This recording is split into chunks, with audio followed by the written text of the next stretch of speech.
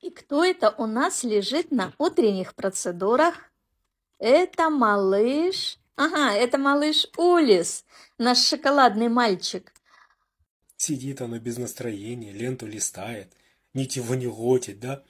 Не хочешь ничего на улицу погулять? А что ты хочешь? Винишка, наверное.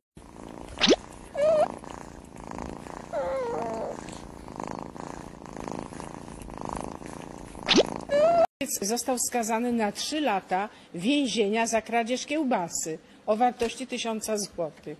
Zorganizowana grupa przestępcza grasuje w okolicach Przasnysza.